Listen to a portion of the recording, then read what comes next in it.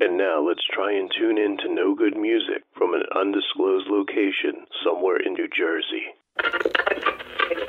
That style, the Right. playing guitar, when that comes on, you're out on the dance floor. Miami still rocks, man. am I going to listen to this again? And it's definitely going to be a theme. you can't make this shit up. No. Hey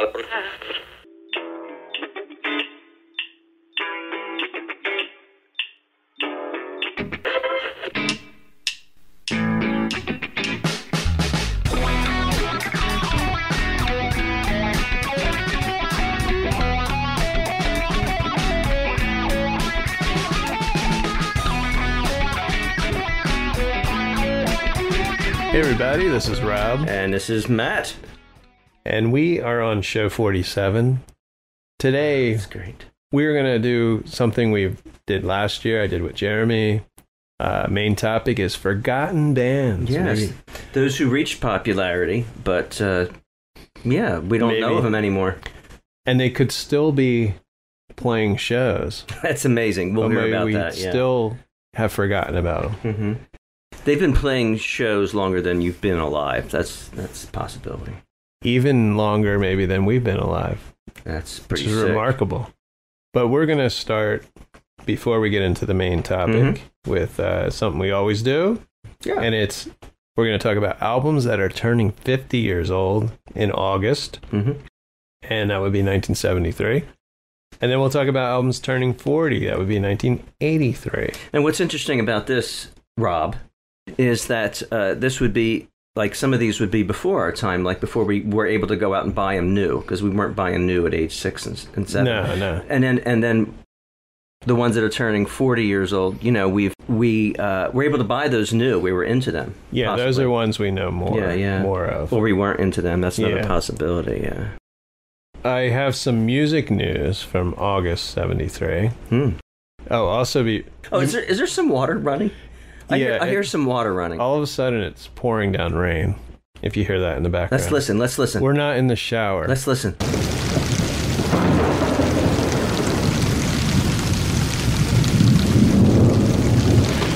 oh it's beautiful Yes. So, uh, August 6th, uh, 1973. Stevie Wonder Hmm. is seriously injured in a car accident outside Durham, North Carolina, and he spent the next four days in a coma. wow Now, Matt, do you think he was driving? yeah yeah he could they could have let him you know stevie you drive yeah Yeah. Yeah. So he was injured in the accident. Somehow he was a passenger and Yeah. such. yeah. August 25th, the Allman Brothers, uh, another tragedy. Hmm. Well, n- near tragedy. Okay. They almost suffer another tragedy when Butch Trucks crashes his car near Macon, Georgia, not far from where Duane Allman was killed two years earlier. Wow. Truck survives with only a broken leg. Mm-hmm. Oh, somebody's Yes? here. Hello? Saw a window open. Really? Or- Wow. So the water isn't just running in the toilet. Thanks, Carter. And now back to your regularly scheduled program. There's a knock on the door. Open the door. Something was raining in someone's car. Oh. So But no, we have the Yeah. knock on the door. Yeah. So you want to start it from the knock on the door? That's what I was hoping. So, um, Butch Trucks, you know, Mhm. is in this accident. He survives with only a broken leg. But can you see the headlines? Yeah. Truck crashes, crashes car. Truck crashes car. Truck crashes okay, car. stupid joke. I was going to ask if he was driving Yeah. a truck. I really was. so we have some albums that are turning 50. Uh, and this is uh, Lynyrd Skynyrd Mhm. debut album. And it's actually called, pronounced Lay Nerd Skin Nerd. Lay nerd, ski nerd. Yeah, was Yeah, released on. August 13th. hmm Uh, were, were, were people really having trouble pronouncing Leonard Skinner? Leonard, Leonard Skinner. well, probably Yeah. because Skinner is S K Y, so you might think of Sky. Skynard. Yeah. Leinard Skinner. Yeah, Leinard Skynard. Okay, yeah. Yeah. All right, it's it's It's acceptable. It's fair, as my friend would say. So several of the tracks were uh, some of the band's most well known. Give Me Three Steps, Simple Man, Tuesday's Gone, and Freebird, of course. And the last of which launched the band to national stardom. Mm-hmm. Freebird! Freebird! Now, the cover features all seven members of the band standing on Main Street in Jonesboro, Georgia. But the photo was the last in a long day of shooting for the album cover. Yeah. And Gary Rossington, one of the members, vomited on the sidewalk seconds after it was taken. Wow. So that's good to know. Uh, kiddos, look that up. Yeah. So if listeners, you know, check that out. And the album is titled. Is it self-titled? Pronounced Laynard Skinner. Oh, that's the title spelled out. Yeah, yeah. Oh, okay. And then with the death of guitarist Gary Rossington in 2023, this year, there are no surviving members of the band pictured on the cover. Wow. Next one is Marvin Gaye, released the album Let's Get It On. Let's get it on. Let's get it on. On August 28th, Mm-hmm. 1973. Mm-hmm. It's his 13th studio album. Mhm. Uh, recording sessions for the album took place during June 1970 to July 1973, so over the period of three years. I'm going to have to edit that out. No, you're not. You will not Yeah. edit that out. Uh, Hitsville, USA, and Gr- Golden, Golden World Studio in Detroit, and Hitsville West in Los Angeles. So over three years. Following the breakthrough success of his socially conscious album, What's Going On, Mm-hmm. Let's Get It On helped establish Gaye as a sex icon and broaden his mainstream appeal. Mm-hmm. Mm-hmm. Now, Matt, do you know Yes. what his next album was called? It wasn't, Okay, so so we are going from what's going on to let's get it on. yeah. So, um, did you leave it on? It, I, I'm guessing it would be the next album. This album did not sell well at all. And it was called Get the F Out of My House. Actually, that's not what. That's great. No, I'm just making that up. oh, um, That would be great if it was called that. what's going down? Yeah. Is is that it? I don't know what the next album was called. So let's get it on. Produced three singles, a title track, and come get to this. Mm. And you sure love the ball. Taste me, taste me. now I've heard the song "Let's Get It On," but I haven't really. I got to listen to the album. Next one is the Rolling Stones' "Goat's Head Soup," Oh yes, yes, very well known. which sounds really disgusting to me. hmm I don't know if that's a thing. August thirty first, nineteen seventy three. It's the eleventh. Now this is what's weird. It's the eleventh British and thirteenth American studio album. So at the time they they released more American releases than English Yeah. or British. Yeah. hmm The album contains 10 tracks, including the lead single and also Angie, which is a good song. Yeah. You know, as far as the Stones go, I, I really like Angie. hmm hmm And Angie went to number one as a single in the US. And the sessions for Goat's Head Soup were abundant with outtakes, two of these tops, and Waiting on a Friend, which wouldn't surface until Tattoo You in 1981, Hmm. which I had. And then two other albums to check out, which we won't go into detail, are Golden Earring, Moontan, hmm which included Radar Love, Yeah. and the album Yeah by Brownsville Station, which included the song Smoking in the Boys Room, Yeah.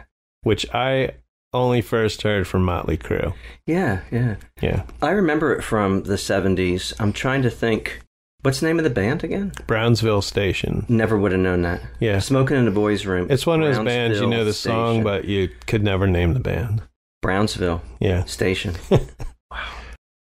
Now we're going to 1983, Yeah. which we're more familiar with. hmm Uh, I got some music news. August 16th, Johnny Ramone from the Ramones, of course, suffers a near fatal head injury during a fight over a girl in front of his East Village apartment. Okay. So it wasn't during performance. Like a, a bottle didn't hit him in the head or anything. Oh, And there's- just regular fight. And there's no um more detail. I'm, maybe there's a news article Mhm. as to how that happened. Maybe, uh, you know, was pushed or who knows. Singer Paul Simon Mhm. marries this same day, August 16th, Oh, marries actress Carrie Fisher. And supposedly after the honeymoon, he bragged that he got Princess Leia. Bum, you made that up, Princess Leia. Okay. No, I did not know. kind of explicit. I here. didn't know. So this is 1983 Yeah. that Paul and Carrie got married. Yeah. No, I didn't know that. And he It said gets- after marrying. Carrie that he almost felt like he was five foot four. It's good. Because It's good. because our listeners, Paul Simon is five foot three, Yeah. and Carrie Fisher is five foot one. Yeah. So he Yeah. he he was Yeah. yeah. He almost felt like he was five foot. Okay, we got it. okay, August 20th, the Rolling Stones signed a new $28 million contract with CBS Records. wow, that was a lot back then. Well, it was the largest recording contract in the history of Mhm. contracts at this Mhm. time. You realize that LeBron only needs to work for about three days to make that money. Just saying. Yeah, yeah. Just saying. That's, that is true. Okay, albums uh, that are turning 40. hmm Uh, this is for August 1983. Jackson Browne, Yeah. released on August 2nd. Lawyers in Love, it was his seventh album. Reached number eight on Billboard Pop Album charts. I love, I don't know, I love this, th- that song. hmm It was a nice, happy, just kind of odd song. Yeah. But, uh, it was Browne's fourth straight top 10 album and stayed on the charts for 33 weeks. I did not know. I, Yeah. I wasn't aware. And out of the eight tracks, four were released as singles. The title song was a top 20 hit for Browne and his last on the American pop charts. Mm. And it was accompanied by one of the first music videos released on MTV. I didn't know that either. Yeah. Wow. Because, uh, yeah, you know, we can discuss this some other time, but MTV started putting out videos. Do you, do you remember? It was somewhere right before there. It was like 81, I think. Yeah, 81, Yeah. So Yeah. this is early on in there. Yeah. And the album also had the song, which you may know, Tender is the Night. Yes. Great songs. hmm Now we got one that I I love and had was Billy Joel's An Innocent Man. hmm uh, August 8th, 1983, it was released. And this was the ninth studio album by Billy Joel. And the album uh, is a concept album and a tribute to the American popular music of Joel's adolescent years. Mm. And Joel is paying homage to a number of different and popular American musical styles from the late 50s to early 60s, and most notably doo wop and soul music. Right. And if you didn't know that, you would Yeah. you would wonder, oh, this song sounds like it's reaching Yeah. back. And then the next song, hey, this sounds like it's reaching back. Mm-hmm. You know, so um, I remember hearing just some songs and thinking, And we tell you about these albums because, you know, it's I like listening to an album maybe near its anniversary. And also if you've never listened to these albums, these are good. I tried to pull out some good albums. yeah, If you want to recreate the cover, it was taken on the front steps of 142 Mercer Street in the Soho neighborhood of Manhattan. okay. So go there. Not Phillipsburg, not Mercer Yeah. Street that we know and love. Yeah. Phillipsburg. So 142 Mercer Street. Yeah. Get over there. Um, so the album featured three top 10 singles. hmm Tell Her About It. Oh yeah, big, big, big, big, number, big. Went to number one. Uptown Girl, hmm which was, uh, and this was while Billy was dating Christie Brinkley. hmm Is that the that video has the car and she's in the car, hmm Uptown Girl, and they just keep showing her in the car. I think so. I think so. Yeah. Isn't he? A, he's a mechanic. Oh I yeah. think. I He's just wearing pictured. a uh, jumpsuit Yeah, yeah, with Yeah. fake dirt on it. Yeah, Yeah. chocolate probably. yeah. and also an innocent man went to number 10 and the other song is the longest time which is a great song Yes. what went to only 14 Mhm. I believe that's a cappella and finger snaps, right? It Just hmm yeah this Yeah. is just a great overall Mhm. album and then we can't leave 1983 without mentioning cheap trick oh, Uh, I thought you had mention Depeche Mode, but go ahead. they released their seventh studio album called next position please which i actually have on the wall yes, right yes, here. it is. uh, matt if you look at the cover I'm looking at it right now on your wall of the studio. The cover is a parody of Bruce Springsteen's pose on the cover of Born to Run. Yeah, yeah. And the guitar on the cover is Rick Nielsen's Hamer Double Neck. Yes. And you know what it's called? It's called the Rick. It's called Uncle Dick. It, the uh, the guitar is very unique. It's yellow, Yeah. black and white, and it's a two neck guitar, and so each of the necks represents Yeah. a leg Yeah. of Rick Nelson, Yeah. and uh, the where the tuning pegs are, that's that's the feet, Yeah. and uh, And he still amazing. plays this guitar. Uh, Wow. If you see them live, he'll bring that guitar Mhm. out. Uncle Dick. The album. now the album was produced by Todd Rundgren. oh yeah, good friend of theirs, I'm sure. Yeah, and the title track was originally demoed for the band's 1979 album Dream Police. hmm It originally had Robin Zander, Rick Nelson, and Tom Petersson each singing a verse, hmm but the song they ended up with is just Robin singing. Yeah, I can tell where that title came from. Next position, please.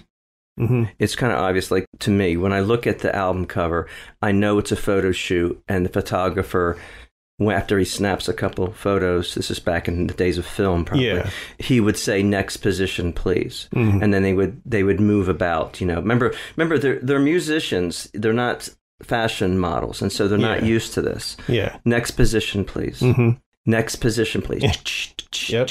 next position please you know let me see if i got that here i think i have that right here And this is not here we go this wasn't one of their best albums because it only got peaked at number 61. All right, listen to this. Oh, never mind. Didn't have. Okay. Didn't. Supposed to make You that. played Duran Duran with the no, the camera Right. sound. I'm trying Yeah. to get that camera sound. It's why is well, it? play Girls on Film and you'll get that. no, but it's. I have my. I Oh. have my phone camera. It's supposed to make that sound. Oh yeah, you got to turn the flick the switch. Oh, there it is. Yeah, I did that already. What's that going on? We'll edit the camera. Yeah, yeah. yeah. So here's some other, a uh, couple other albums to check out. from Yeah, yeah, go 1983 is Elvis Costello, Punched a Clock. very good. Very good. Mm-hmm. And from that album, we have which which hit comes out of that. Every day I write the book. Yeah. Yeah. Everybody knows the the lyrics. Find strange hands in your sweater. You know, it's just a little. Mhm. You just wonder about that. Yeah, makes it makes you think, you know. And then from that album, uh, I, I was listening to it, and I, I know the song "Shipbuilding" and Yeah. "We'll Be Shipbuilding," and I, I don't know how I how I, I, know don't. that Yeah, I don't. because know. I never owned the album. I never bought it for myself. I was too poor. maybe yeah. someone else played it. for you. Yeah, yeah. And then we have Stray Cats, Rant and Rave with the Stray Cats. And the song off that album is a song you probably, I don't know, it's debatable whether you can write a certain song today or not. hmm Because I always have this thing with the, uh, the top 40, and some of the songs on there are kind of raunchy. Hmm. So I don't know why sometimes they pick on the older songs as far as. So anyway, the single, Yeah, yeah, yeah. the Mhm. song was "Sexy" and "17." Sexy. Yeah. yeah. I remember that. Yeah, Mm-hmm. yeah. It just has the word "sex" in it. I guess that the yeah, Yeah, not So- approved, unapproved. Eh. and then we have Kajagoogoo. Do you remember Kajagoogoo? Too shy to shy, and it Too- makes no yeah. sense at all. And their album, I dare anybody to name. is- Uh, I'm thinking. I'm thinking. Kajagoogoo. Kajagoogoo. Mhm. Uh, welcome to the Thunderdome. that was Tina Turner. What'd you lose there? Uh, some electronic device. It's gone. It's gone. We, we don't need it. We don't need it anymore. The plug? No, no. The sound machine. The sound Oh. effects. Oh, It's gone. It's gone. uh, so the album was White Feathers, Yeah. Never would have gotten No. that. Never. and then we had Herbie Can- Herbie Hancock. Herbie Hancock. Future Shock Yes. Song Rocket, and I Yeah. clearly remember the video. Yeah. Now I did. I did have Rocket, the EP, with four different versions of Rocket on it. Really, hmm Black and white and red cover. I did not know. Yeah, that. yeah, I loved it. I might have not shared it with you. I don't know. I don't remember sharing it with you then. that's sad Yeah. that you didn't share that with me. Rocket. Okay, so next up we have some new albums coming out. Uh, before that, though, before Yeah. that, I have to go back to Yeah. albums from 50 years ago. you said uh, the album called It's Pronounced Leonard Skinner. Yeah, Yeah. So here I have the picture, and uh, I want you listeners to also look it up. You can just go to Apple Music or anything, and you see the album cover has all seven of the guys there. Yeah. And uh, I want you to try and guess which one looks like he's about to throw up. And it's it's clear to me. Uh, so Rob, just take a little look there. I I have a guess, and it's in my head. I didn't write it down. But one of them is about to throw up. I think it's the one in the very back. Okay, very back because he's looking for an escape route. That's why he's in the back. Yeah. Okay, so you have that one in the very back. Oh, you know what? His face is blurry. It's not. It's not in focus. Yeah. Yeah. But no, I think it's clearly the man in purple, second from the left. He is thinking hard. He's thinking, "I'm about to throw up." Yeah, you might be right. So, so we have two possibilities there. It's nobody else. It's it's one of those two. Mm-hmm. Yeah. I don't know all the all the members. That's why I said man wearing. Well, I'm sure we- shirt. No, we can find out. Yeah, yeah. So, if any of you listeners want to put a bet on this, which one of the members of Lynyrd Skynyrd is about to throw up? without really knowing who. Yeah, yeah, yeah. To play fair. Yeah. Yeah. yeah.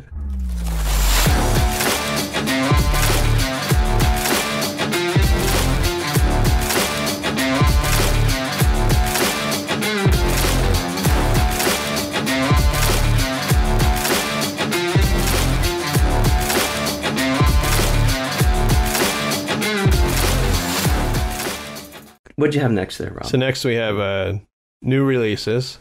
These are for August, Mhm. new album releases. August 4th, we got uh, Mammoth, which Matt, you might not know. Mhm. Uh, I do not. Wolfgang Van Halen. Oh yeah, yeah. And this is Mammoth 2.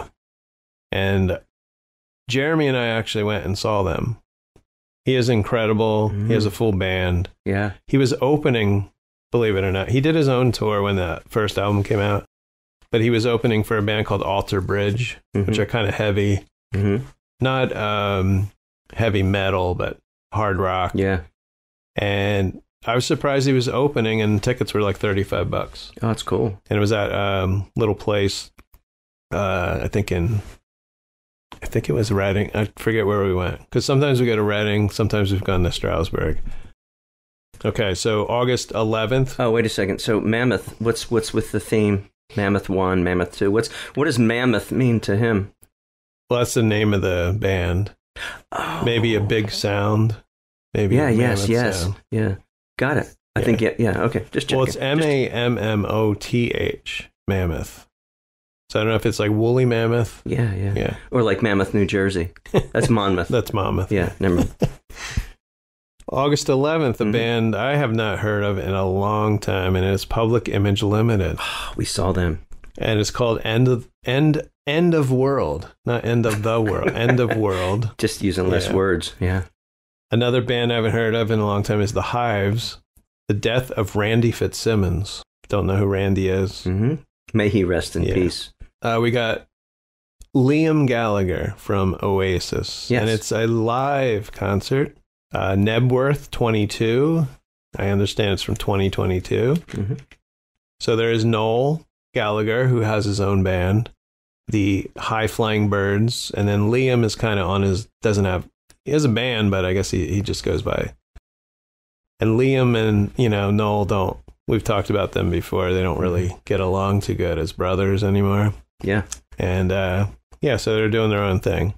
And Liam's last album I really liked. It was I was surprised. It's really good. Uh, we got David Bowie. He doesn't have a new one out, No, I wouldn't suspect. but it is the 50th anniversary of the motion picture soundtrack Ziggy Stardust and the Spiders from Mars. Yeah. Wow. Very cool. So check that out. I was listening to uh, WXPN in Philly, and there was a show, uh, probably um, uh, commemorating Mhm. the fifth, that 50th anniversary. Yeah, there was, uh, uh, I think it was a whole Saturday or a whole weekend of Okay. festivities for Bowie uh, Mhm. for that event. Yeah, and that was a few weeks back. And then August 18th, we got another band I haven't heard of in a long time, Sonic Youth. Yeah. But this is uh, from a concert from 2011, live in Brooklyn. Uh, we got Hozier. Hozier. You know, it's not easy to say. Yeah, I know. Hozier. Hozier. Hozier. Hozier. Unreal Unearth, it's called. I'd like to check it out. I'd like I like the stuff from the last album. And we got someone that I love, and I don't think she's put out anything in, in a little while, is Grace Potter. Mm-hmm. Uh, Mother Road. Yeah. It's called. We did get to see her uh, at Hershey. Is that right? Was that Grace Potter Yeah. back in uh, Farm Aid. 2012? Yeah. And then I saw her when it was at Sands in Bethlehem, Mhm. front row. Nice. Got some great photos. hmm It was it used to be Grace Potter and the Nocturnals, hmm but this is a new album, August 18th. I already ordered the vinyl, uh, which is signed, which is on yellow vinyl. Yeah. August 25th, we had uh, Husker Du. Husker Du. Oh yeah, it is Husker. I remember Yeah. being corrected once. Husker Du, Yeah. not Husker Du. And I did look this up because I was curious as if this was new or not, and it's it's not. Yeah, I was wondering if I can't picture Husker Hmm. Du still putting out music. Uh, honestly, I can't. I think it's a compilation of past. Maybe it's rare stuff. It's called Tonight Longhorn. I guess. And then August 25th, the same day, we got Alice Cooper, no. brand new album. No. Yes. Well, we were holding two in our hands not long ago. Yep. Yeah. Called Road. And I the Road. first single I think is called something like um, uh, "I'm Alice" or something like that. Yeah. Hello, I'm Alice. Yeah. Yeah. and I listened to the first single, and I have to say, even though I'm a huge fan, I I don't think the song's that great. I'm hoping Maybe the rest will get better. he had an yeah. album out a couple years ago, and I'm pretty sure it was called Detroit Stories, Mhm. and it was great album because it was so it was I think a lot of cover songs, Mhm. And it was great. So I'm hoping for more greatness, but. So there we go. Those are new Hmm. very releases. Good, very good. So check those out. Uh, even if you're listening to this at a later date, you can still look back a few months and check them out.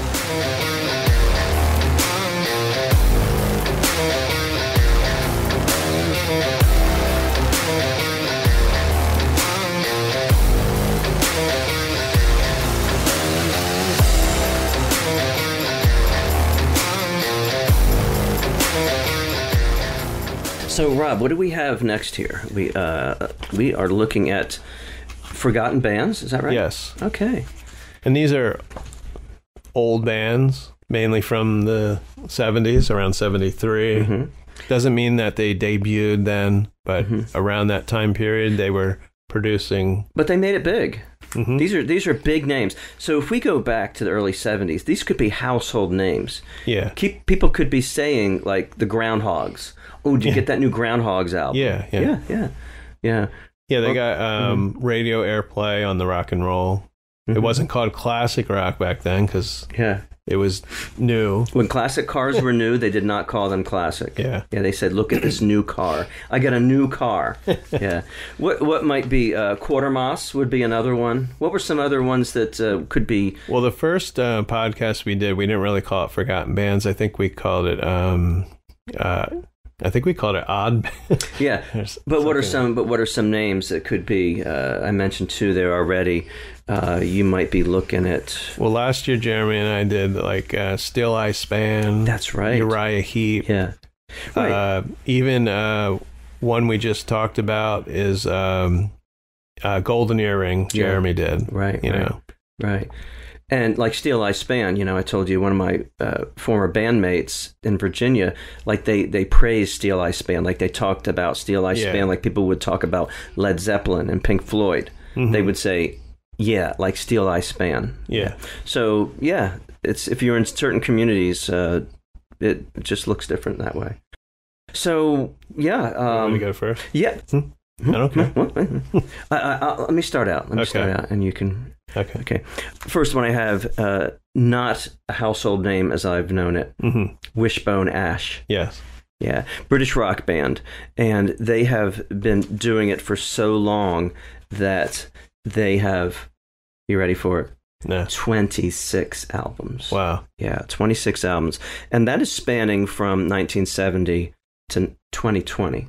Yeah. Wow. So from 1970, when I was uh, learning my numbers from 1 to 10, hmm yeah, they they were making music. Uh, first one, Wishbone Ash, and then some other albums such as Pilgrimage and Argus.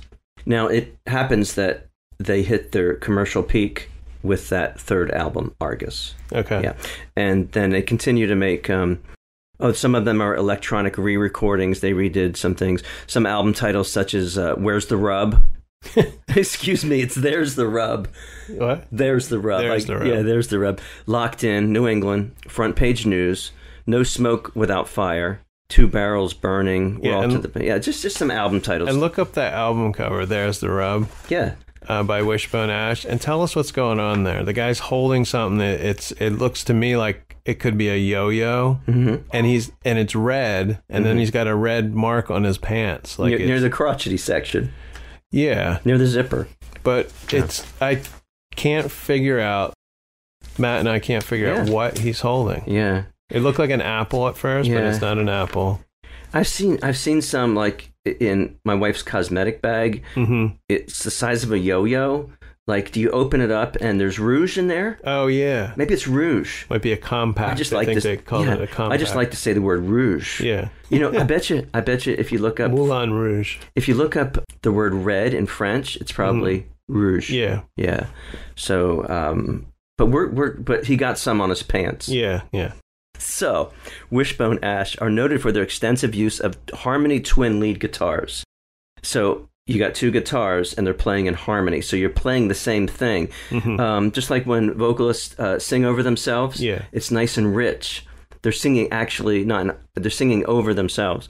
So uh, this was first uh, made popular by Jeff Beck and Jimmy Page playing together in the Yardbirds hmm in my birth year. Uh, so that was interesting. That people uh, they they like that that that feel. Yeah, Um, doubling up. On yeah, the doubling guitars. up on the on the electric leads. Yeah, several bands have noted Wishbone Ash as an influence. Hmm. Yeah, and uh, Iron Maiden, Okay. Van Halen, Lynyrd Skynyrd, Thin Lizzy. Mhm. Could you imagine Thin Lizzy? Thin Lizzy. Did you ever? Did you ever hear? Have, you listeners, have you heard of Thin Lizzy? And Metallica. hmm Yeah, just to name a few. They have said Wishbone Ash uh, has been an influence on me. In 1970, uh, they opened up for Deep Purple, and um, Ritchie Blackmore recommended Wishbone Ash to a producer, Derek Lawrence, and got him a record deal. So I thought that was pretty cool. And Ritchie Blackmore is Yeah. Black Sabbath, wasn't he? I don't know. Okay. Yeah, Ritchie Blackmore. I just know the name. Bassist and vocalist John Wetton joined the group, formerly with King Crimson, Roxy Music, and Uriah Heep. Huh? Uriah Heep, Yeah. another band that uh, we haven't heard of lately. So yeah, they've they've got um, looking at some material here. They that it's it's amazing that they total 26 albums. I think it would be um, if you're not re including the re-recordings, it would be uh, 23 actual albums of Okay. new material. Yeah, and there you have it. Wishbone Ash hmm in the early 70s in the music circuits, uh, a, And common, still around. a common name, and still doing after all these years. But some of these bands, they, you know, they may have one member that was original, yeah, and one that comes to mind is Foreigner, which I believe now doesn't even have one original member. wow. Uh, because there's a new lead singer, but uh, I think it was Lou Gramm. Who, Yeah, yeah. Uh, there was Mick Jones. Lou Gramm, though, I think was touring with them uh, recently, hmm but I, I don't know if he's still with. If he's not with them, then they have no original Yeah. member. So, can they call themselves? So it's like a cover band. Yeah, yeah, it's one of those bands that yeah. just play That's interesting. all the same. Yeah, You know, once you lose your last original member, you suddenly are a cover band. You suddenly are doing foreigner songs. well, yeah, because Yeah. you have people that have not. They didn't write any of those songs. hmm They're just singing them Yeah, and they're yeah. just playing them. So that is literally a cover band. You know? Do you know my brother had the eight track of Head Games, Foreigners. Head Games. Mhm. We're talking um, probably eighty two, something like that. Mhm. And uh, my mom and dad said, uh, "You will not have music like that in our house." And it was a girl sitting on a toilet, if I remember. No, it was a girl writing on the men's bathroom wall near a urinal. Okay. Yeah. And, um, you know, so um, Mm-hmm. I said, I will get rid of it. What I was referring to was the paper cover on the eight track. So I, I, I steamed it and got Oh, rid of the paper cover. Nice. So I had a, a very uh, black, uh, Mhm. plain eight track for a while. Yeah. Yeah.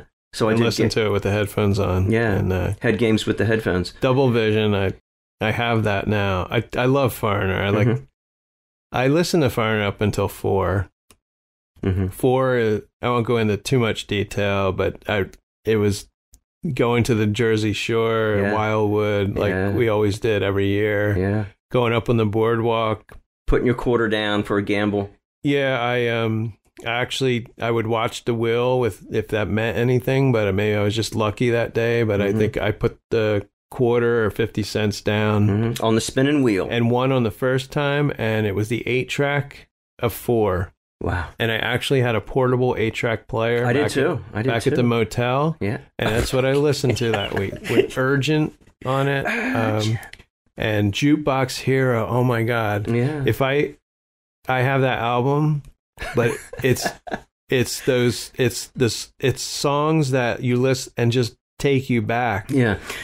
If Yeah. we if we can do this podcast ten years from now, maybe Foreigner will make the, one of the forgotten bands. That's what I well I was thinking about David Bowie Yeah. because the person we interviewed today we did a couple interviews today which Yeah. you'll hear coming up hmm uh, Both in Memphis, both in both in Tennessee, both in Nashville. Nashville, Tennessee. Yeah. Yeah. Yeah. and um, we can say his name, Jesse Daniel Edwards, Mhm. um, a newer artist. But he mentioned uh, he ran into someone that never heard of David Bowie. I think it was an ex girlfriend. Okay, He dated Yeah. someone who didn't know David Bowie. and that interview should be coming out after this. So Maybe anyway, she maybe she was eighteen. I don't know. so uh, what do you got for us next? I got Roberto? April Wine. Yes. Oh, I, now, two I bands had on my list that are food. I had an April Wine album. That's all I remember. I didn't listen to it. Okay. Mhm. Now, believe it or not, out of my well, Matt and I picked uh, three bands each from a list of about fifty. Believe it or not. yeah, yeah. but we wanted uh, bands that had a little bit of history Mm-hmm. Because there are the really forgotten bands that maybe put out an album or two. You know, we we really want to talk. You know, give you some information, uh, some good information. Mhm. But I have two two of my three bands are food products. Yes. Uh, if you want to call wine Yeah, yeah, food, liquid food. yeah. Yeah, nourishment for the soul. So this band is from Canada, and they formed in 1969. They're sort of from Canada because it's Halifax, Nova Scotia, actually. Yes. Um, but they're considered a Canadian rock band. Yeah. The band is led by singer, guitarist, songwriter Myles Goodwyn since its since its inception. hmm And even though they officially began in 1969 in Waverly, Nova Scotia, uh, their roots can be traced back to Newfoundland and Mhm. Labrador, which I've never heard of, Yeah, yeah. Where brothers David and Richie Henman grew up playing music together before they moved to Nova Scotia. So, three of the founding members uh, we got David Henman, Richie Henman, their cousin Jim Henman, Howard Hesseman. No, I'm just making it up. Uh, you could have thrown that in. I WKRP. Yes. Yeah. Uh, they were orig- originally in a band named Prism.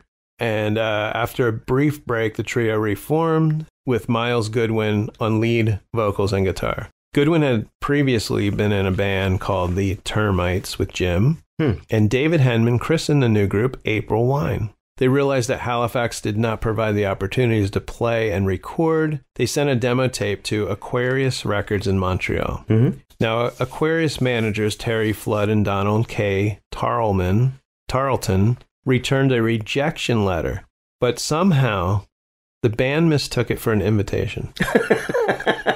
we got a letter. Yeah. No way. We got a letter.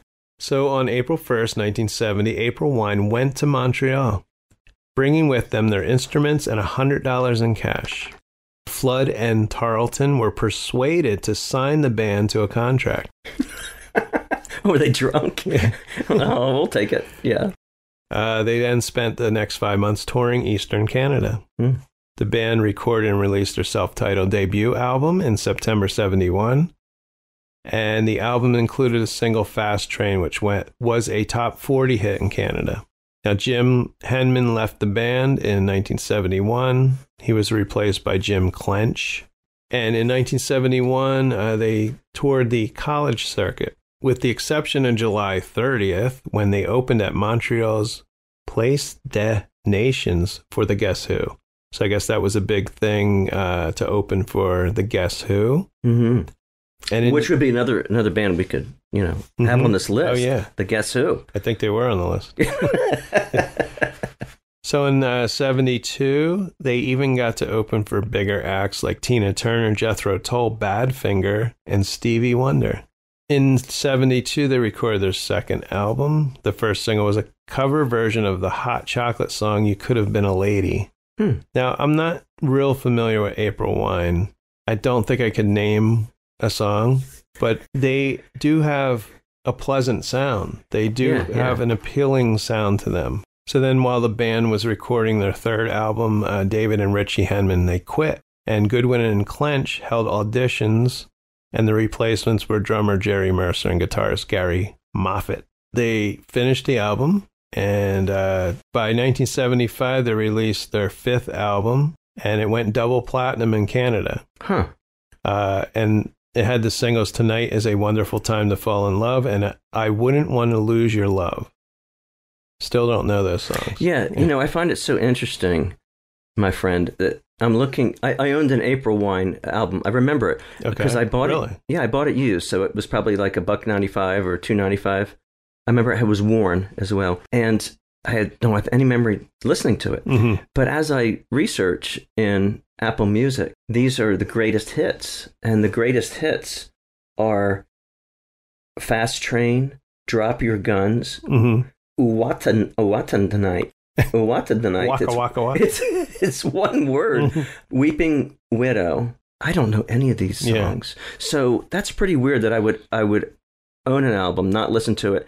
And on Z95, on all the radio stations, they didn't play any of their music. I'm going to say they were mostly uh, popular in Canada. yeah, it You know, must be. Not Yeah. more a U.S. band, but they did tour, you know, the U.S. But on what, you know, magic carpet, on what wave of Mm. popularity? Yeah. After the fifth album, they actually went on tour with Heart. And then a band I don't think I've heard of, but when I say the name, I'm going to laugh.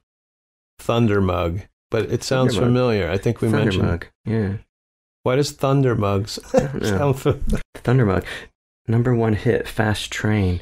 You know, maybe maybe people in Canada will will be will tune in, will listen to us and, Yeah. and give us those in Nova Nova Scotia and Labrador. If you're living in Labrador, please uh, contact us and I do us have know. a friend in Canada. His Yeah. name's Nathan. Yeah. He's in a Beatles band. oh, So Nathan Liu, you listening? I'm sure you know who April Wine is. yes. So the band's next release was in 76 and it actually hit platinum status based on advanced sales orders alone. Hmm. Uh, and their sixth album, uh, Forever for Now, was another platinum seller. And it contained the band's biggest single, You Won't Dance With Me. Oh. I still don't know it. Yeah. And I'm still not knowing it. Now, something interesting on um, March 4th and 5th, 77, Mhm. we're up to 77 Yeah, now. yeah, it's good. April Wine was booked to play at a charity concert at Toronto's famed El Macambro, Mocambo Club, and the co-liner on the bill was a band called the Cockroaches. Mm-hmm. The Cockroaches turned out to be the Rolling Stones. No. Yeah. And the pseudonym was a poorly kept secret, and huge crowds turned out for the event. Uh, April Wine's performance was captured and released as the album live at the El Mocambo. And then the band got its first chance at touring the US. So here we go.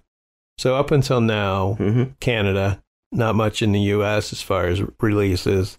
And they got to open for the Rolling Stones, Styx, and Rush. Wow. And we know those names. Yes, yes. Rush being Canadian, right? Yes. Yeah, Mhm. and Styx. Uh, I'm not sure where they originate from. Now, their seventh album, uh, it wasn't until their third single uh, called Roller. And my friend Ken knew this song. He knows a little bit more about them, a lot Mhm. more than I know. Um, and that brought the band mass appeal across North America. Roller. 79 was spent touring with Styx, Rush, Toto, Boston Squeeze, and Blue Oyster Cult. Squeeze. They found a way to, to wow. Okay. Yeah. Sounds a little different than, than Squeeze. Oh, no, wait. I do know two songs. We're getting to it. Oh. Okay. And when I mention them, you probably know 'em. Yeah, yeah. So that this was uh, we're going into the 80s now. The Nature of the Beast was released in January 81 Okay. and it had the hit singles Just Between You and Me, which I love. Yeah. I'm sorry, I, I, I lied. Yeah. And the band's cover of the Lawrence Lorence Hud song "Sign of the Gypsy Queen." I know you've heard that. Yeah, you know, I, I- have to apologize. I was reading not from their greatest hits per se, but from their album called Greatest Hits. Oh, okay. They put out an album, Greatest Hits, where there's no hits on it that we know. That's what I was reading from. So uh, I was wrong on that. And just between you and me, is Yeah. that what you said? yeah, and "Sign of the Gypsy Queen." Yeah, which I, I would know both of those. So, listeners, check out Yeah. "Just Between You and Me," that Mhm. incredible hmm ballad. And now, this was the first album to reach platinum status, internet platinum status internationally. hmm So the band had kind of a lull uh, from '85. hmm They didn't release their next album until '93. So yeah, that's that's eight years. Yeah. Yeah. Uh-huh. So I don't know. They probably disbanded, um, you know, broke up. Maybe they were still playing shows. Now, in 2010, they were inducted into the Canadian Music Hall of Fame. And sadly, on November 3rd, 2010, Jim Clench died in Montreal of lung cancer. He was 61. But April Wine continues, tour across Canada annually. They Yeah. play festivals in Europe and the United States. And the group uh, consists of Goodwyn, Greenway, Lanthier, and drummer Roy Nip Nichol. Nip. Mm-hmm. Play us, They played their most recent concert in Ottawa in September 2021. Now, Myles Goodwyn, who was the singer, he will no longer be touring with the band. He announced December 2022. Mm-hmm. Uh, he turned his vocal and guitar duties to Marc Parent, but he's still a part of the band. He's just not touring with the band. He's going to focus on writing and recording. So they're still active. Um, I feel this band, if you want to uh, know what they sound like, we can't really we can't play their music, unfortunately. But think of another maybe forgotten band is 38 Special. Mm-hmm. I was Um, thinking maybe REO Speedwagon, just uh, Mhm. between you and me. It just it sounds like uh, it Yeah. could be uh, it could be a band like that. Mhm. Yeah, doing a rock ballad, right? Nice, great rock Mhm. ballad actually. I've yeah. even heard some cheap trick kind of in there. So we're mentioning bands you probably don't know either. uh, I don't know any newer artists that we can compare them to. Right, right. Um, you know, they're no Harry Styles, I can tell you that. Mhm. But the, the two songs that I do know, they're they're great songs. But I do get the feeling they sounded. Uh, I listened to more songs, and I think they sounded like the problem was they sounded like every other rock band of the '80s. Yeah, I think "Just Between You and Me" though is one of the best songs Mhm. ever written. It's yeah. and I think it's uh, if you know the song "Love Hurts," or I even have down Yeah. here, believe it or not, because you mentioned REO Speedwagon, Yeah. "Keep on Loving You." Yeah, yeah. It's Yeah. very similar to that feel. Yeah, Yeah. yeah. So, All right. so April one. Good, good. Uh, next up, I have a person, not a band, and uh, not a whole lot on her, but uh, Ellen McIlwaine. And she is Nashville born. So, again, Nashville is definitely the word of the day. Uh, born in Nashville, Tennessee, but she was adopted by Christian missionaries and moved to Japan. Wow. So she's American born, but she's growing up in this Japanese uh, culture. Uh, she learned multiple languages, knew a lot about Japanese culture, and um, she attended a, a Canadian, there you go, Mhm. Canadian Academy there in Japan. And um, she was playing piano, started playing piano on her own, uh, playing Ray, Ray Charles, Fats Domino, and uh, some other different Japanese songs that she heard on the radio.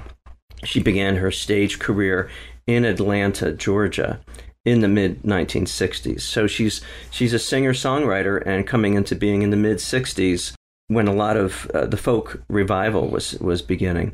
So she lived in Greenwich Village hmm and she had a gig opening every night uh, at Cafe Agogo. So she played along with Jimi Hendrix. She opened up for Muddy Waters and some other people uh, popular during the time. Uh, found that really interesting. She had strong roots in blues and gospel and rock, but people kept trying to say she's a folk singer. She's a folk Mhm. singer Yeah. because it's a woman alone with her guitar in the late 60s. And it's Mhm. like, oh, you must be a folk singer. Very similar to uh, Joan Baez and Melanie hmm and uh, people of the time. So, but yeah, she did cover version of Isaac Hayes, Stevie Wonder, Jimi Hendrix, uh, Stevie Winwood, Jack Bruce, singing some of her own songs as well. So uh, she toured Now, jumping ahead from the 60s, from way back to just 2008, 2009, and 2010, uh, she toured with Patty Larkin. Now, I saw Patty Larkin uh, open up one time uh, with uh, Bruce Cockburn uh, in DC back in 1994. So, yeah, it's it's singer songwriter. It's a woman and her guitar telling a story. Uh, yeah, you can see why she would be labeled folk, but uh, but Ellen would uh, would have more uh, more blues influence and such.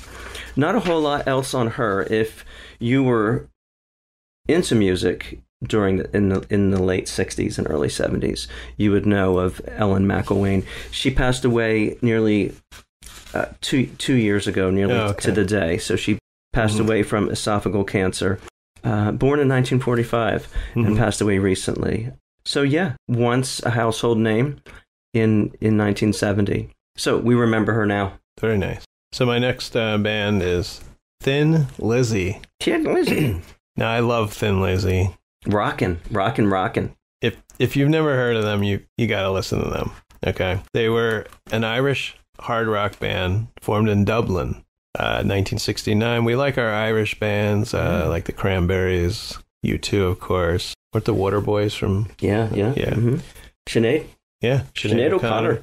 So two of the founding members of Thin Lizzy, uh, bass guitarist and vocalist Phil Lynott and drummer Brian Downey, they met at a school in Dublin in the early 1960s. Uh, Lynott joined a local band, the Black Eagles, as vocalist in 1963, and Downey was recruited as a drummer in 1965. Lynott was then asked to join a band called Skid Row, and it's not Row. it's not the Sebastian Bach band. It was an Irish blues rock band.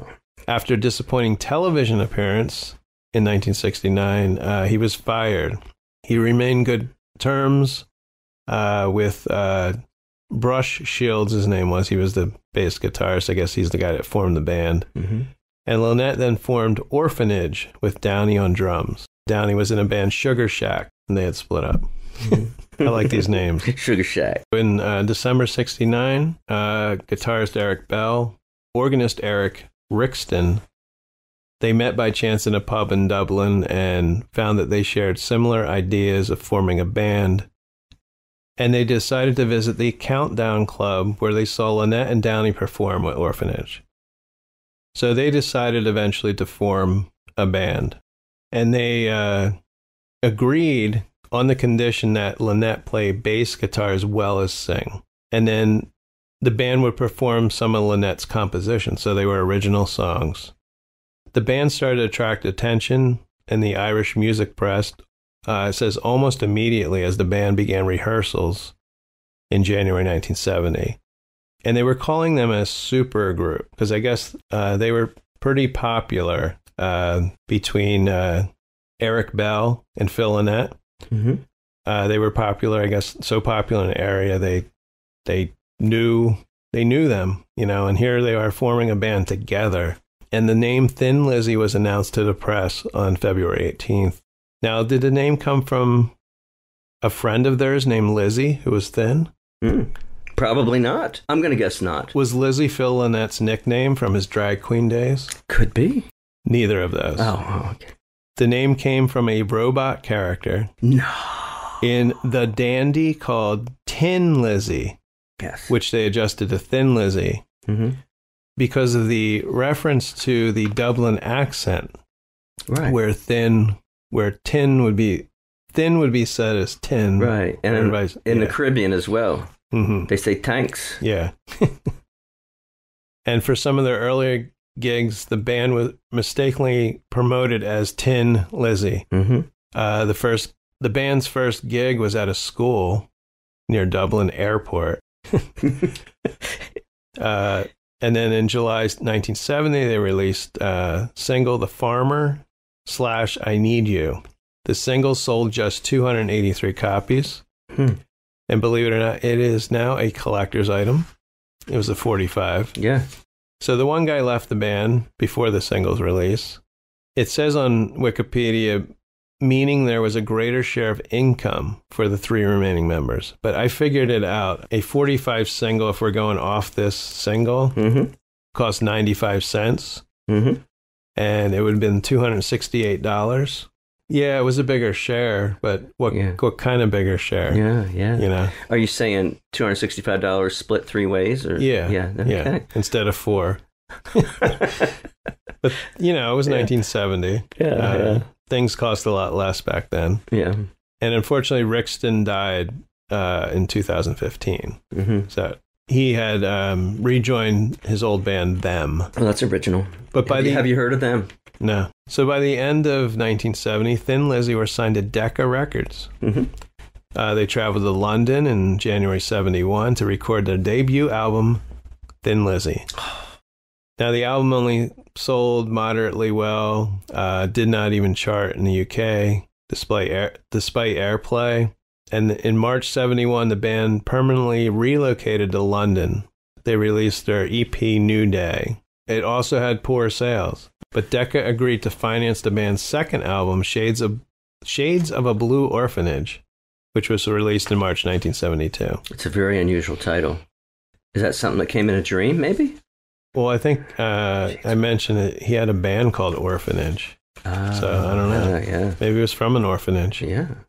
So musically, the style was Celtic, with little warning of the hard rock direction that the band were to take in the future. oh, Um, so starting out Celtic, really? yeah. So maybe alternative Celtic, something really unusual. Yeah, Mhm. happening there. And then in late 72, the band embarked upon a high pri- profile high profile tour of the UK with Mhm. Slade and Suzi Quatro. Out of nowhere, Suzi Quatro. Yeah, Suzi okay, Quatro. All right. Listeners, if you don't know Suzi Quatro, look her up. And around that time, the Decca released Thin Lizzy's version of the traditional Irish ballad "Whiskey in the Jar." Hmm. And I know this song. Yeah, yeah. You Um, want to? You don't want to sing it for us at this point, right now? No, Yeah. Okay. but the band was angry at the release, feeling that the song did not represent their sound or Mhm. their image. Yeah. But the single topped the Irish chart, reached number six in the UK. And this was February '73, and it resulted in them appearing on top of the pops. So maybe it was a good thing. Yeah, yeah. Like it or not, you're at the top of the pop. Yeah. Where do the boys come in? Are we at the boys yet? Not the boys yet. Okay. I want to talk about the boys. So soon after, um, Eric Bell left the band, Mm-hmm. and then they did auditions for new members, and they eventually settled on an 18 year old uh, guitarist, Brian Robertson, Mm-hmm. and Scott Gorham, who was from California. 75, early 75, they toured the United States for the first time in support of Bob Seger and Bachman Turner Overdrive. Oh, there's another one. BTO. They then recorded the Fighting album, 1975, became the first Thin Lizzy album to chart in the UK, reaching number 60. That doesn't sound good. And they also had a successful uh, tour in support of Status Quo. Hmm. That was another band we talked, Jeremy and I talked about. Yeah, yeah. Very little known band, Status Quo. So then in March of 76, they released the hit The Boys Are Back in Town. The boys are back in town. So that is a song I know and love. And it reached number 8 in the UK and number 12 in the US. Back. The boys. are- And it was the first song to chart The boys are back. in the US. Boys are back. And here we go with they had the twin guitar sound. Here it is. Had been fully developed by this time. Mm-hmm. and it was in evidence throughout the album. And the album uh, reached number 10 in the UK, number Yeah. 18 in the US. I remember summer times, different, a couple different summers in the '70s, uh, hearing that song, just Mhm. rocking. Yeah. yeah, yeah, boys. That song and this next one, which was their follow up Jailbreak, are Mhm. like, I could just listen to them. I don't get tired of those songs. Yeah, yeah. Uh, Two big hits, really big hits. something about the guitar, the riffs, Phil Lynott's voice is kind of unique. I don't think he had the strongest voice, but Yeah. it's just, Mhm. they remind me of just a bar band. Yeah. A bar band. A really good bar band. Yeah. And even when you're listening to the songs, you want to feel like you want to turn around and make sure nobody's like crashing chairs over each other's heads. I mean, that's why you know. you want to punch somebody, but you don't. Yeah. Yeah. So then they toured with uh, Aerosmith, Rush, and REO Speedwagon. There it Uh, is. Yeah. Wow. That was in 76. So they'd be friends with they would be friends with the band members of April Wine then if they're doing all that touring with I'm Rush. sure they, yeah, Yeah. them. yeah, make beautiful music together. So they do have, um, there's a really good album called Live and Dangerous. It's from Mhm. 1978. hmm Really good live album if you want to check that out. Also, the album Chinatown. Uh, that was 1980. Hmm. Any yeah, that sounds familiar. Yeah, Chinatown was, uh, Yeah. remember that song. I'm sure our local station was big in playing Thin Lizzy. hmm Uh, 81, they had their first greatest hits album. And now Phil Lynott, he died young, unfortunately, and that was pretty much the end of Thin Lizzy. He's got a couple solo albums too out, and he was planning his third album. hmm But he sadly died uh, in 1986, January 4th. He was 36. Pretty young, yeah. And he had some ailments brought on by his drug dependency hmm uh, which led to multiple organ failure. The remaining members, uh, they actually didn't work together until the recording of the single dedication in October 1990. hmm Uh, and they worked in a rough demo of Lynott uh, called Guiding Light into a finished song. hmm There's been various small reunions. Um, so the, the band still continues on, believe it or not Huh. um, with various, uh, you know, not original mem- but members they gathered along the way, I Mhm. guess. They also go under the name Black Star Riders sometimes, and but there is there was talk and uh, of putting Thin Lizzy back together from 2022 onwards, Hmm. And I don't know if they did that or not. Yeah. Again, Phil Lynott had, and it's L Y N O T T. He had such a unique voice and the original band with the original sound. I don't think I'd want to go see Thin Lizzy with. It's tough uh, when the lead singer passes away. Even if you have some great guitarists, great musicians. I mean, the exception is pretty much Van Halen, I'd say, with having a new lead singer, but you still got Eddie Van Halen Right, right. which is inc- was an incredible Mhm. musician. But uh, to Like- continue Mhm. on, like like for me, REO Speedwagon, right? Mhm. Still got Kevin Cronin. I think it's pretty much the original band. But if Ken- Kevin Cronin, something happened to him or he decided to retire and they got someone else, there's nobody like Kevin Cronin. It's got such a unique voice. right. Yeah. So Mhm. Yeah, uh, I do know who would know some of this information about the uh, reunion because uh, my brother-in-law, uh, oh yeah, big Kiss fan, but he does not have KISS tattooed across his chest. what does he have tattooed across his? Could it be Thin Lizzy? So he's got Thin Lizzy, very Wow. very bold. Uh, you know, in as- the lettering style? Yes, yeah, in Yeah. the special lettering, Yeah. yes, that we know is Thin Lizzy. And there's there's other tattoos, but nothing as bold and big as Thin Lizzy. So Hmm. he's uh, definitely the living down Dallas, Texas, definitely the biggest uh, Thin Lizzy fan. And uh, a certain style, you know. He just just loves the rock. I mean, I have Elvis's signature on my arm. Yeah, but I don't know if I'd have it like big across my Yeah, chest or yeah. yeah. you know, four four six inch tall letters. Yeah. Yeah, yeah. But uh, I've seen it. It's real. My next band. Uh, Your last band, right? Yes, last of the three for today. And I like this one the best. Okay. So this is the Nitty Gritty Dirt Band. Yes. Yes. Uh, they were sometimes referred to as the Dirt Band, or we'll find out later why, the Toot Uncommons. Mhm. The Toot, but not the nitty gritty. Not the Nitty Gritty. They were known as the Dirt Band, or the Two Uncommons. Uh, started at the year of my birth, 1966. Uh, various uh, people in and out of the band, but started in Long Beach, California. And they were known as the Dirt Band from 1976 to 1981. So you got five years, just the Dirt Band. Mhm. I think it would be just, you know, a nickname because Nitty Gritty Dirt Band, you know, four words. I kind of like the dirt band Yeah. better than nitty gritty dirt Yeah. band. But Yeah. So uh, we have a wide variety. It's five or six guys, and uh, depending what year you're looking at. But we've got uh, guitarist and washtub player. Okay. Yeah, they were a jug. Washboard. Yeah, wash tub. They said Wash wash tub, tub. okay. So you take the whole tub with the board in it. Oh, nice. Um, bassist, uh, clarinet, guitar, harmonica, jug player. Yeah. Let me see if I can play a little bit of the jug here for you.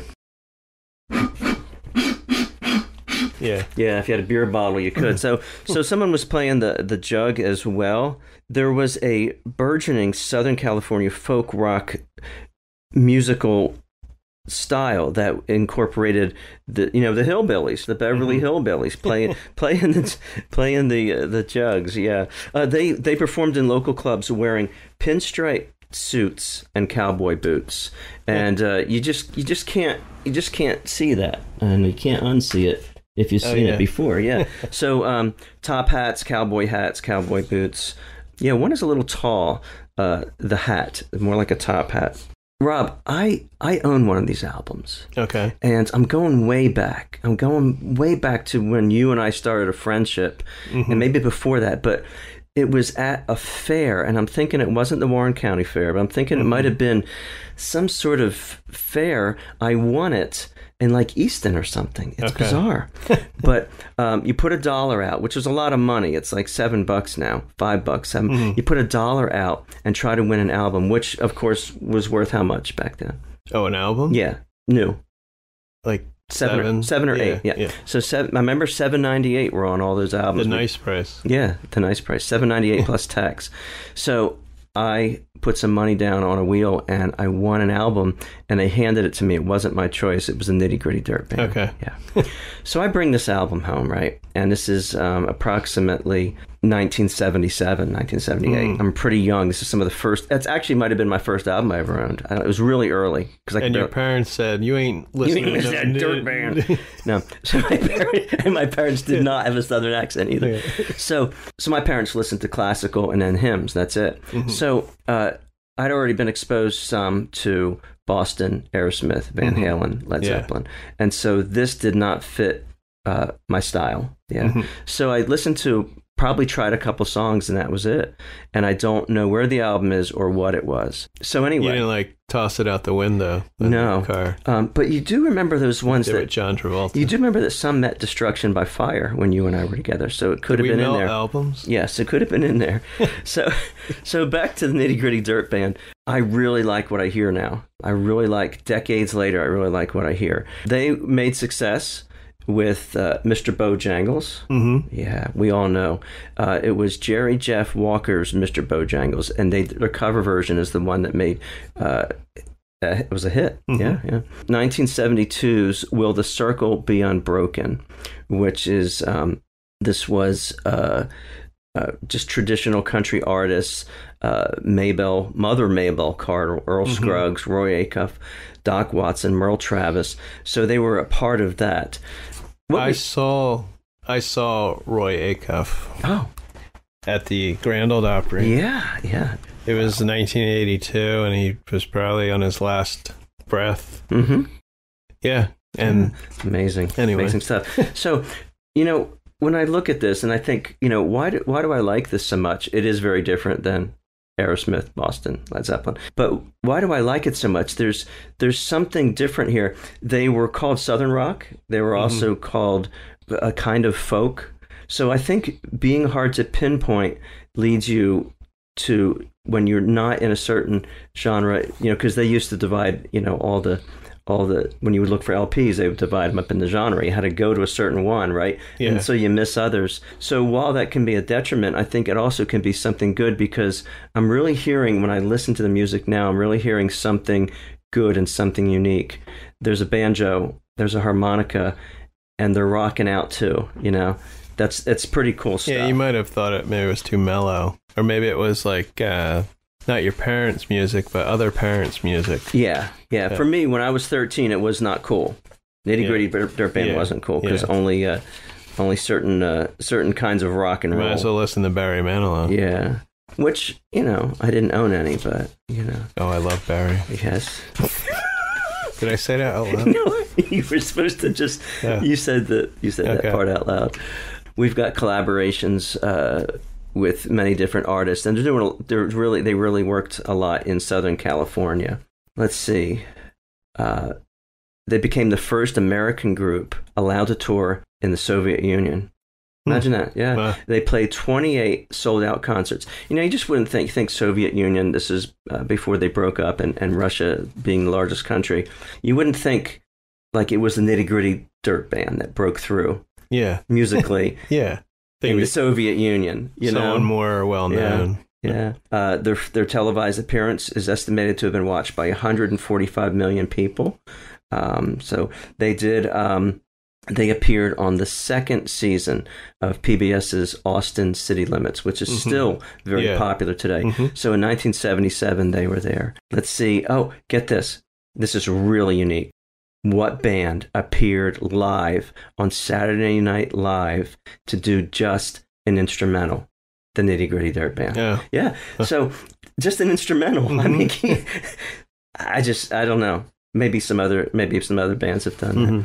So speaking of Saturday Night Live, I told you that they were called the Dirt Band. Mhm. They were also called the Toot Uncommons. Toot. The Toot Toot. uncommon. Toot. T O O T. Toot Uncommons. Mm-hmm. And here's why. Because they played on Saturday Night Live with Steve Martin accompanying them on banjo, and they played King Tut. Mm-hmm. And they played along with him, and they called themselves the Tutankhamons. What year? Do you have a year? No, I don't have a year for that. But, you know, King Tut was King Tutankhamun, so they Yeah. called themselves the Tutankhamons. Yes. That's the album. Yes, there it is. Uh, here at the studio, we have Steve I'm pretty Martin's- sure that's the. Yeah, we have the album with Steve Martin wearing a uh, The balloon. he has a animal. balloon a balloon animal, but it's pressed upon his head with the fake nose and glasses. Oh no! Wait a minute. I'm mistaken. Yeah. I don't think King Tut's on that album. Yeah, It's on. Uh, I think the second album where he's wearing the bunny ears, and it looks like he's on stage. I think. Yeah. Yeah. I can picture that one. Is that one? That called, one's the first one. is that one called "Comedy Is Not Pretty" or which one? No, is- that was like the third one. Oh, where he's wearing lipstick. Yeah, yeah, Yeah. so, so yeah, I would I would encourage our listeners to check out the Nitty Gritty Dirt Band. You know, I think now they wouldn't be called uh, American country rock or some sort of South. Uh, California folk. I think they'd be called uh, roots or Americana or something. You know, Mhm. just a bunch of bunch of guys playing their instruments very well and uh, and really uh, stretching the limits of Yeah. the genre. Yeah, uh, just looking at a picture of them in the pinstripe suits, cowboy hats.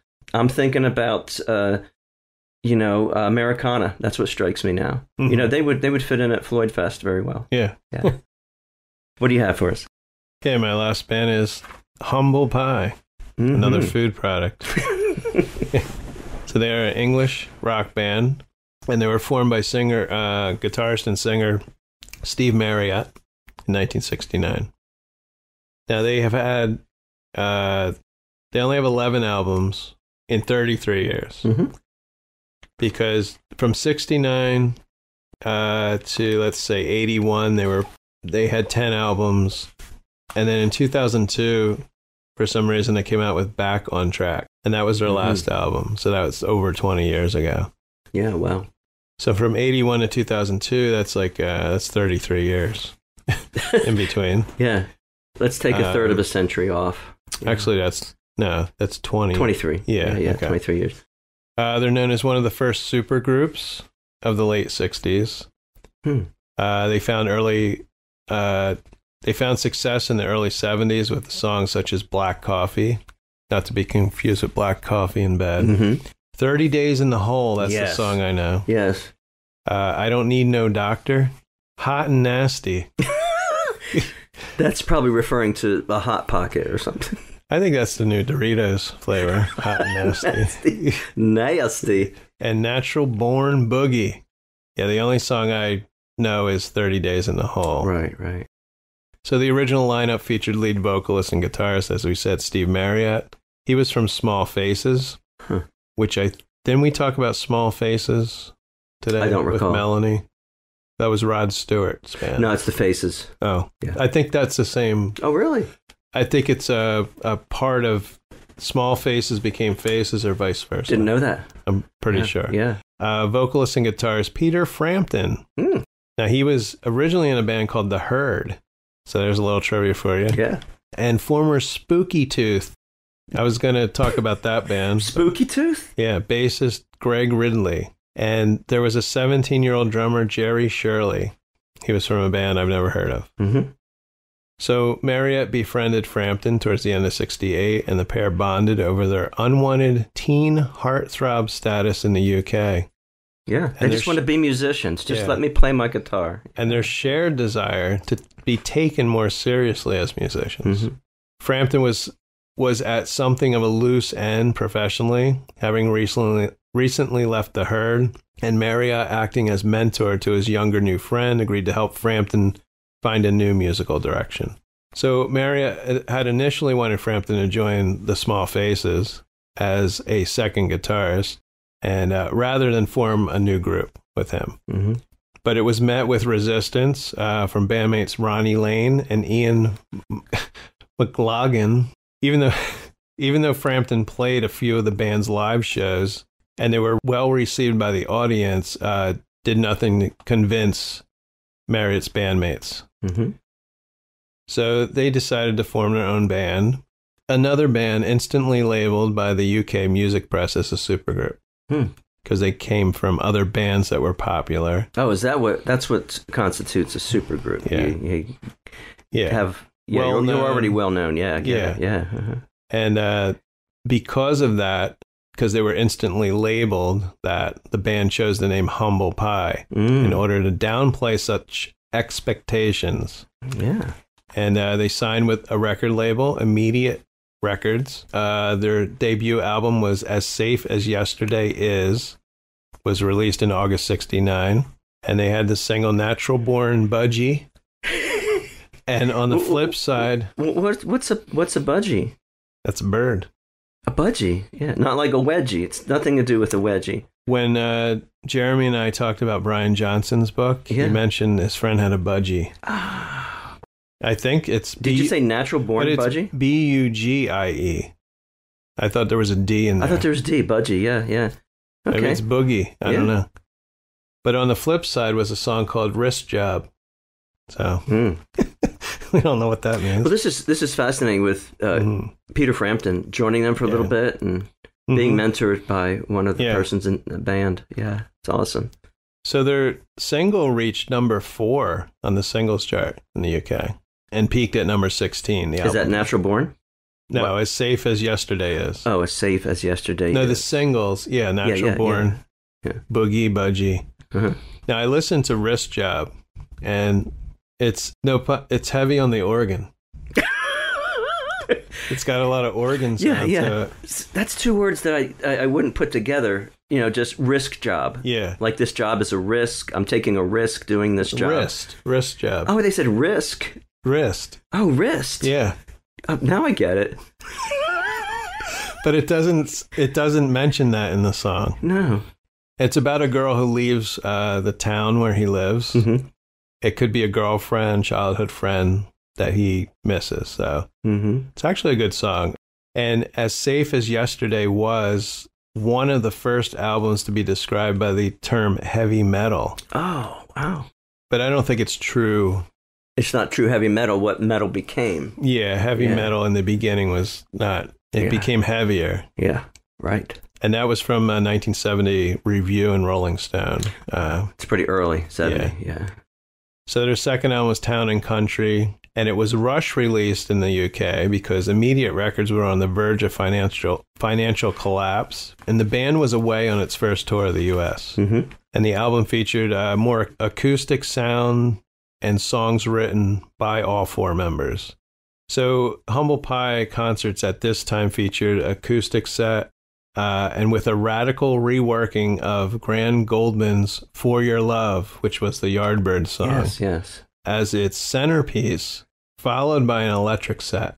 So it might that might have been a new concept uh, to do the acoustic Yeah. and then electric. I have not heard of that. They would do a set acoustic and then probably kick it in right with the electric uh, for your love, and then had do an electric set. Yeah.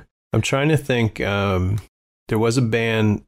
I'm thinking it was either Live, the band Live, Yes. or Counting Crows that might have done that when I saw them a Yeah. while ago, a long time ago. So the record label collapsed, and Humble Pie actually signed with A&M Records. So apparently they were selling some albums, and they A and M had an interest in the group.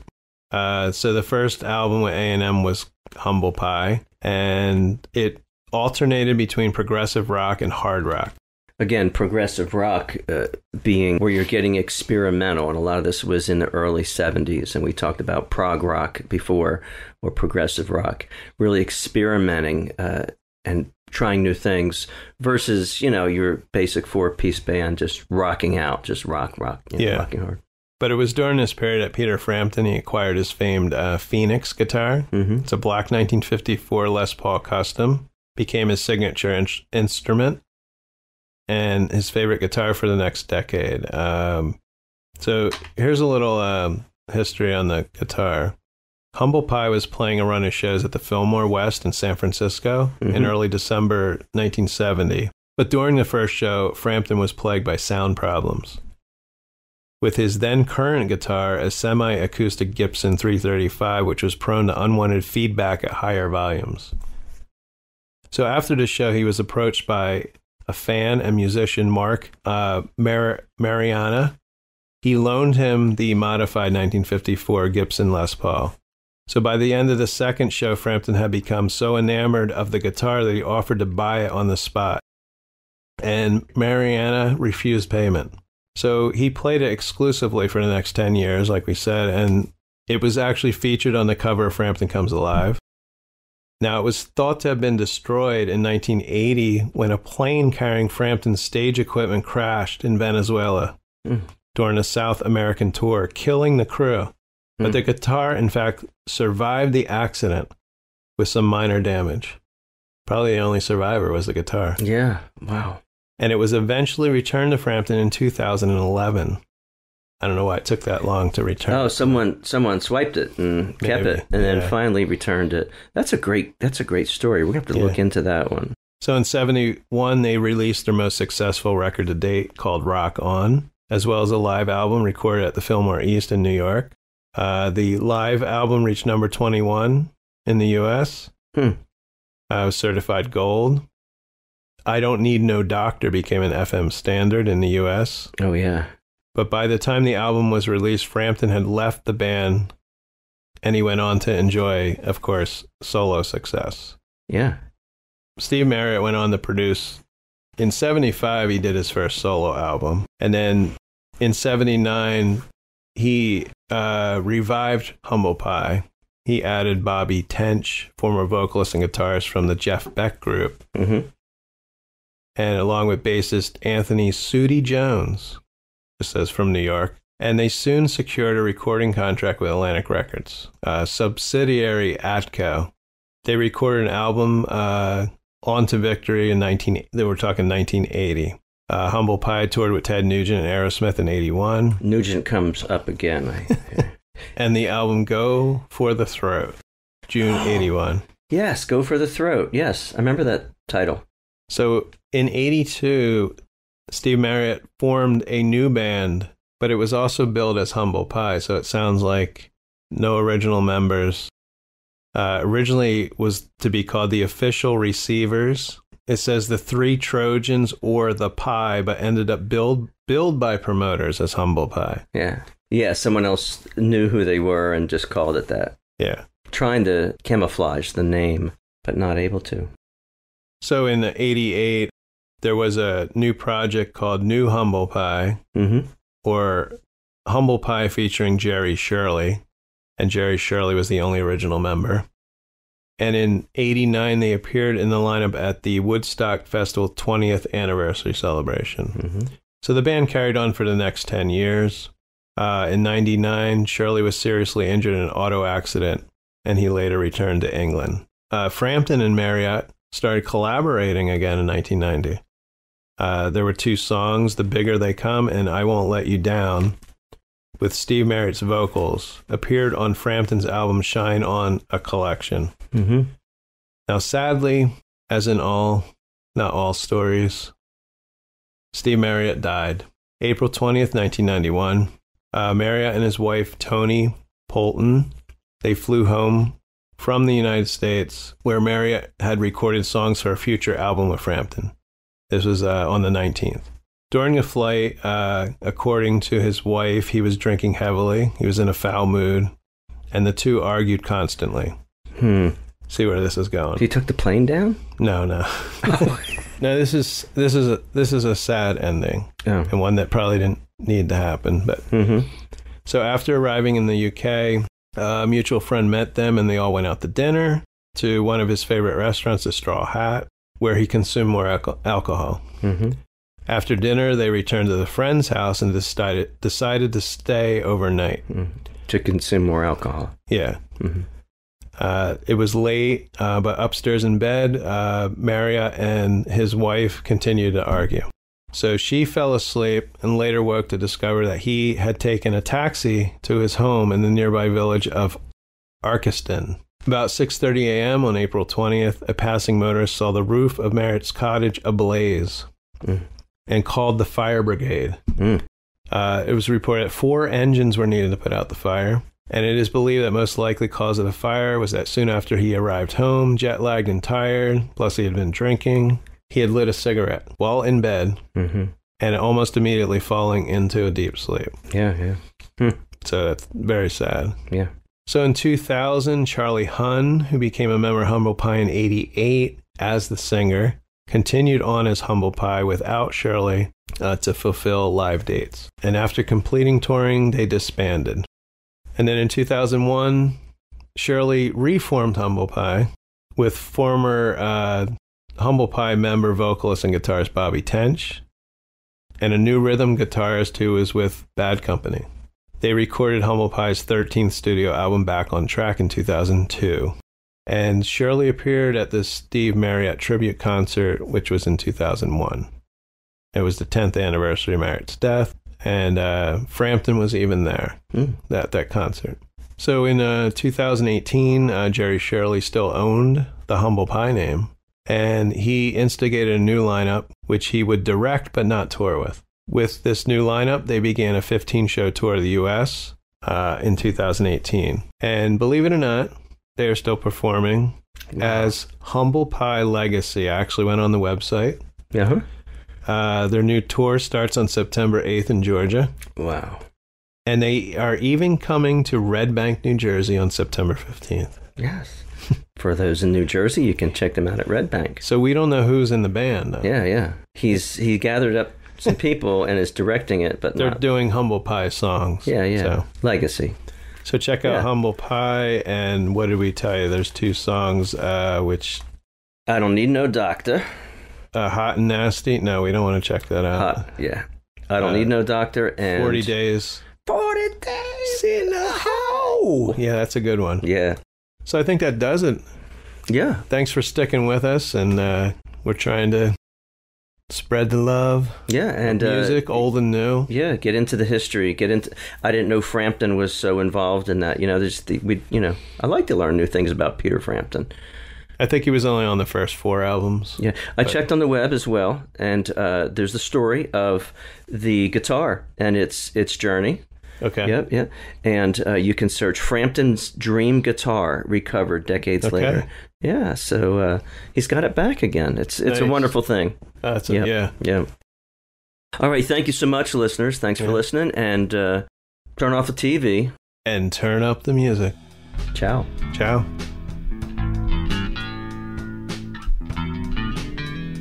You've been listening to Know Good Music, intro and exit music by the band 99%. Today's show is produced and edited by Rob J. Lilly and recorded at the Did You Say Seven. Studios in Washington, New Jersey. You can find Know Good Music on Apple Podcasts, Podbean, Spotify, Pandora, and almost anywhere you listen to podcasts.